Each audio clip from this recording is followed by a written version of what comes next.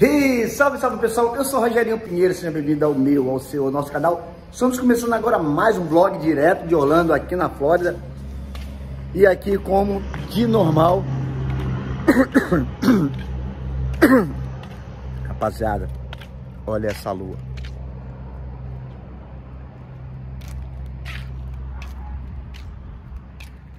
Olha essa lua. Hoje tem um sol até que, até que apareceu, parou uma nuvenzinha aqui, ó. Mas hoje tem um sol para cada morador da Flórida, cara. Tá muito quente. Eu nem sei, mas hoje tá com cara de uns 33 graus aqui, cara. Muito quente. Você toma banho, daqui a pouquinho tem. Você fica suado de novo. Você toma banho, fica suado de novo. Você toma banho, fica suado de novo. É assim, cara. Isso aqui é o meu condomínio, rapaziada. Ó, o condomínio que eu moro, ó. Bem tranquilo, bem tranquilo.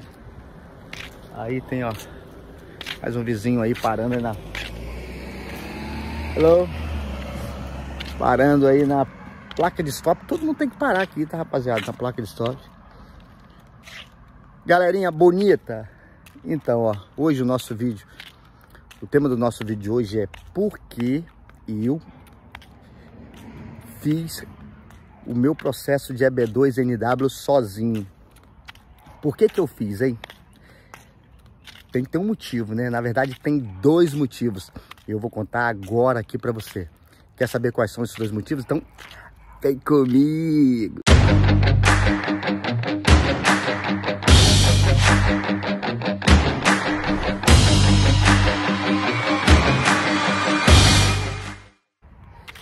Então, galera, o que aconteceu foi o seguinte, o que aconteceu foi que eu estava ali é, naquela ânsia ali, já tinha uns dois anos, olhando EB2NW, olhando processo para vir legal para os Estados Unidos. Aí olhava EB3, pô, EB3 é muito ruim, porque EB3 você tem que, você tem que ficar é, com o seu sponsor, não sei quantos anos lá do contrato tal, e se o camarada é, não te trata bem, se for, se for, se o cara não gostar de você, ou qualquer coisa desse tipo assim, ó, né? Você não consegue depois o green card, então você tem que aceitar tudo do cara, você tem que ficar lá com o cara. Então, opa, fiquei analisando outras coisas. E aí, conheci o EB2NW. E aí, rapaziada, qual foi o primeiro motivo? Nossa, não tô aguentando nem abrir o olho. O sol tá aqui em cima, aqui, ó. Qual foi o primeiro motivo? O primeiro motivo, rapaziada, foi o seguinte. Uh, quando você vai tomar uma decisão de fazer um processo como esse, na verdade você você procura na internet, Instagram, Google, você procura saber quem são aquelas pessoas que fazem esse processo, né? E aí você procurando essas pessoas, você encontra quem primeiro? Os escritórios que mais investem em propaganda, né? Por coincidência ou não, são aqueles que cobram mais alto, 20, 25, 30 mil dólares, uma horinha ali, 200 dólares para falar com você que você é elegível ou não. É, e aí você chega nesses caras. Quando você chega nesses caras, você... Aquela... Parece que você tá falando com, com aquele, né? Tá, vou até pular essa parte que eu ia falar. Mas tudo bem. Aí quando você chega nesses caras, eles vão e agendam para você. Você tem que pagar. Alguns cobram um preço mais baixo, outros cobram um preço mais alto. Tem, tem advogado aí que cobra 400 dólares aqui da Flórida, advogado brasileiro, cobra 400 dólares aqui da Flórida e cobra 25 a 30 mil dólares de acordo com o seu perfil. Se você é aquele for um cara mais devagar de grana, 25. Se você ele vê que você é um camarada potencial, opa, te cobra 30 mil dólares para fazer o seu processo, mais de 100 mil reais sendo você elegível ou não. E outra coisa, ele não te garante nada, tá? Ninguém pode te garantir nada, porque isso é, é discricionário ao oficial de imigração. Então, nem eu, nem ele, ninguém pode te garantir nada. Mas você tem ali os critérios que você precisa é, ser elegível a eles, né? Então, tem essa questão que te direciona. Só que pode ser que por trás ali tem alguma coisa que nem você que está fazendo o processo você sabe. Né? Alguma coisa que eles identificam na pessoa e eles acham que aquela pessoa ali é, é, sei lá, não tem um interesse nacional sobre aquele CPF, sobre aquela pessoa. Mas vamos lá. E aí você procura esses advogados desses grandes escritórios, e eles cobram 20, 30, 25 mil dólares. Então assim, o tema desse vídeo é por que, que eu fiz sozinho. Esse foi o primeiro motivo. Porque muito caro pagar 20, 25, 30 mil dólares. Não dá. Não dá, por mais que você tenta pomopar, mais uma sombrinha aí, o sol, so, o, as nuvens estão ajudando aí um pouquinho agora. Então, assim, por mais que você tenta, é, é, não, como é que eu posso dizer assim, por mais que você, que você imagina assim, aí eu sei que Estados Unidos é muito bom, aí eu sei que Estados Unidos, que os Estados Unidos é, é é, vai valer a pena, o que eu vou investir lá, tal, aquele negócio todo.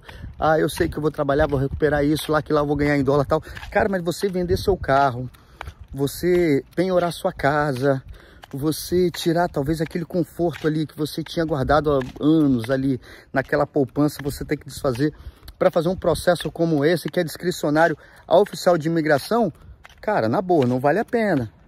Entendeu? Pagar mais de 100 mil, do... mais de 100 mil reais não vale a pena.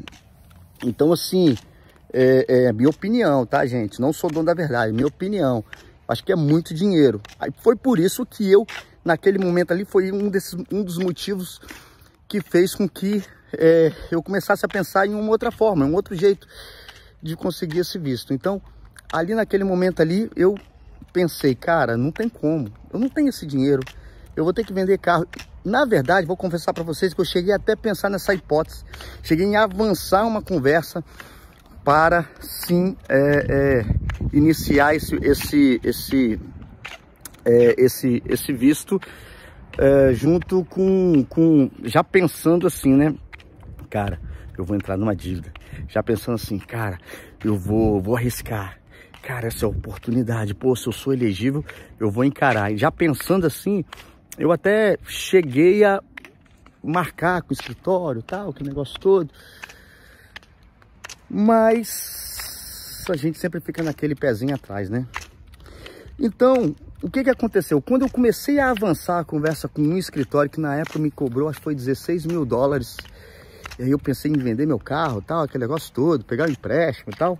Igual um videozinho que eu soltei aí, foi exatamente aquilo ali, é uma história real que eu, que eu tava pensando em fazer. Tem um, tem um, lá no meu Instagram, eu coloquei lá uma, eu fazendo uma ligação pro, para o SAS, pro site da, aqui para imigração é, americana. Se você não viu, dá um pulinho lá que você vai ver. Tá nos stories lá, você consegue ver. E aí, o que que aconteceu? Eu peguei, é, fiquei pensando, né? Se essa seria uma boa decisão mesmo para me fazer. Então, quando eu comecei a avançar com os caras, eles não tinham prazo para mim.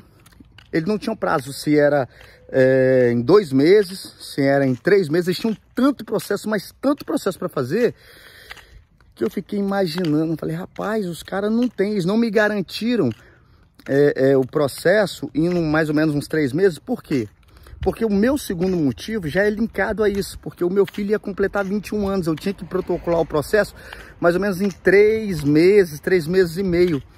Então eu precisava logo que a pessoa, a, a, a, empresa que se comprometesse, em, em, que eu viesse a fazer né, o contrato com eles tal, se comprometesse nisso comigo, né? Se comprometesse em, em me dar naquele prazo de três meses e aí eu não consegui. Os outros era muito mais caro, né? Então eu falei, cara, eu já não tenho dinheiro para pagar esse valor todo. E ainda por cima eles não é, é, não prometem para mim que vão me entregar em três meses. Então eu fiquei sem, sem saber o que ia fazer. Aí foi então que é importante. Olha aqui o céu, céu azulzinho, cara. Olha que coisa linda, ó. Olha a nuvem que tá em cima aí, rapaziada, ó. A nuvem tá cima da minha cabeça aqui. Então, aí foi, foi nesse momento que eu falei, cara, sabe de uma coisa? Eu já ouvi falar de pessoas que fizeram, aplicaram sozinho, sem advogado. Não precisa ter advogado para fazer esse processo em nenhum momento do processo. Você pode fazer sim o processo self-petition, né? Fazer sozinho. E aí eu comecei a me aprofundar, me aprofundar e fiz o meu processo e hoje eu estou aqui, morando nos Estados Unidos, morando aqui em Orlando, na Flórida, e curtindo um pouquinho desse momento especial é, que a gente está vivendo aqui. Então o que, que eu quero falar para você, rapaziada? Para vocês aí do Brasil que pensam, que sonham em vir para cá.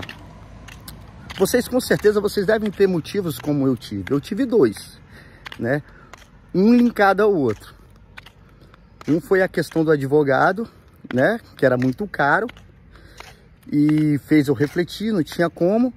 E o outro foi quando meu filho ia completar 21 anos e se eu demorasse um pouco mais, é, não ia dar tempo. Não ia dar tempo, ele ia completar 21 anos. E pensa bem, eu vim para cá com minha esposa, com meu filho, com minha filha e deixar meu filho no Brasil não faz sentido nenhum.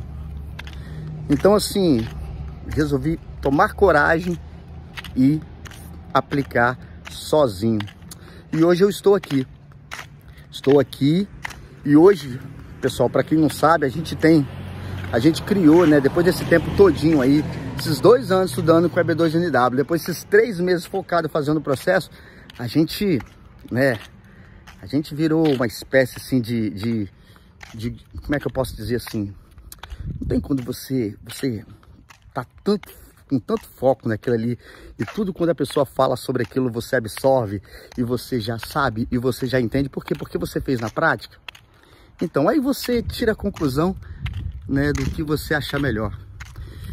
Então rapaziada, a partir disso aí depois que nós chegamos aqui, a gente criou a RP Consultoria é, e a gente está dando consultoria aí para várias, várias pessoas. E vou dizer uma coisa para vocês aqui, ó, com preço justo, tá? Com preço justo. Então, se você pode ir lá no Instagram, me chamar lá no direct, direct do Instagram, meu Instagram pessoal, né? Então, assim, e você pode também me chamar no WhatsApp, é um WhatsApp do Brasil, que eu vou deixar aqui, ó, no link aqui. Vou deixar aqui, aqui logo aqui no vídeo aqui para você ter a oportunidade aí de já ver, já me chamar e a gente bater o papo. Rapaziada, eu não cobro para dizer para vocês se você é elegível ou não, né? Porém, assim, se você... É, é, você vai ter que mandar para mim o seu, o, seu, o seu currículo e dali através do seu currículo ali que eu vou ter uma noção exatamente assim de, de olhando, né? Um pouquinho, mas é legal depois disso aí a gente bater um papo, um vídeo, né? Ao vivo e aí a gente se aprofundar muito mais para a gente ter a certeza que você tem sim possibilidade de ter o visto EB2NW e sim, cara, isso, ter a certeza que você é elegível. Então tudo isso é um processo, tudo isso é um passo a passo que a gente acaba fazendo essa consultoria aqui. Nós não cobramos nada. É claro, né, rapaziada? Hoje eu preciso fazer um diferencial. Então meu diferencial é esse, é falar com vocês. Eu faço questão de falar com vocês, de conversar com vocês eu mesmo, tá? Eu mesmo nesse primeiro momento, depois sim, depois nós temos o advogado, depois nós temos assessoria da, empre da empresa que vai tocar algumas coisas com você, mas de início sou eu mesmo que faço essa consultoria e essa conversa com você, tirando todas as suas dúvidas. Então, rapaziada, esses foram os dois motivos, os dois motivos que me fizeram a fazer esse, esse processo sozinho. Eu tenho certeza que você aí tem seus motivos que são diferentes que o meu. Então deixa aqui nos comentários aqui quais são os seus motivos que de repente possa fazer, né, te dar aquele ânimo para que você possa vir fazer o visto EB2NW sozinho, rapaziada. Esse processo todo sozinho. Porque eu vou dizer uma coisa para você, ó. Eu cobro o preço justo, a empresa cobra o preço justo. Mas é muito legal, cara, quando eu fico sabendo que ele ou ela está fazendo o processo sozinho, cara. Tá aplicando sozinho, tá correndo atrás. E assim, é claro, né? A gente fica feliz porque porque a gente consegue entender que aquela pessoa passou por um processo parecido que o meu. Eu fico assim pensando, pô, as dificuldades que eu tive, porém talvez eles tiveram de uma outra forma, de um outro modelo, ok? Então, rapaziada, esse foi mais o vídeo. Espero que vocês tenham gostado. Quero pedir para você me seguir lá no Instagram também, Rogerinho Underline Pinheiro. E logo, logo, logo, logo nós teremos mais novidades para vocês que eu vou falar nos próximos vídeos, ok? Tamo junto, é nóis e até o próximo vídeo. Valeu, fui!